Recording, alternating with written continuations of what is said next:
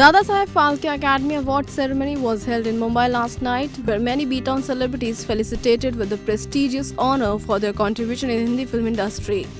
Celebrities like Priyanka Chopra, Vivek Oberoi, Manisha Koirala, Shilpa Shetty, Juhi Chawla, Anupam Kher, and evergreen actor Anil Kapoor honored with the prestigious award. The actresses were looking gorgeous in their own outfits. Have a look.